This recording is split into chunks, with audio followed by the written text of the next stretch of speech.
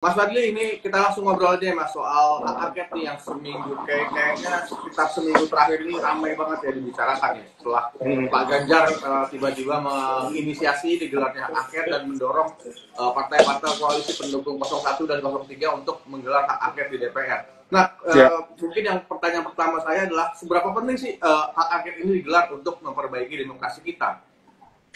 Pertama hak angket itu harus dilihat uh, dilakukan dalam kerangka fungsi pengawasan lembaga legislatif. Jadi sebagai lembaga legislatif kan punya fungsi pengawasan. Salah satu bentuk fungsi pengawasan itu dengan memiliki hak angket.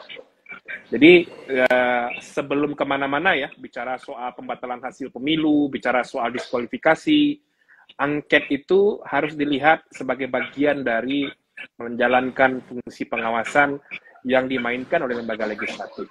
Itu hal yang biasa saja. Soal uh, muara angket ini akan ke mana, yaitu nanti tergantung uh, fokus pemeriksaannya akan ke mana. Jadi kan ada uh, hak interpelasi, hak untuk bertanya dari lembaga legislatif kepada pemerintah terkait suatu kebijakan atau apa pun tindakan pemerintah. Kemudian hak angket, hak untuk menyelidiki sesuatu kebijakan pemerintah, penyelenggaraan undang-undang yang itu berdampak luas kepada masyarakat atau publik luas.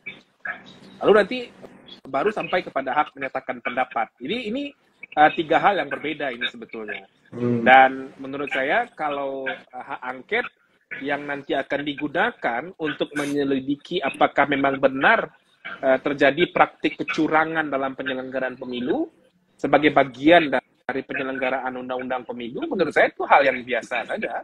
Jadi uh, kita hormati saja dan justru bukankah uh, selama ini kita yang mendorong, ayo dong fungsi pengawasan DPR terhadap uh, pelaksana undang-undang terhadap pemerintah mana gitu. Nah yeah. sekarang tiba-tiba ketika mereka akan menggulirkan hak angket sebagai bagian dari fungsi pengawasan, uh, justru uh, mulai uh, dikecilkan dengan oh angket ini tidak bisa masuk ke hasil pemilu dan lain sebagainya. Hmm, okay. Itu memang okay. uh, dokumen yang lain menurut saya.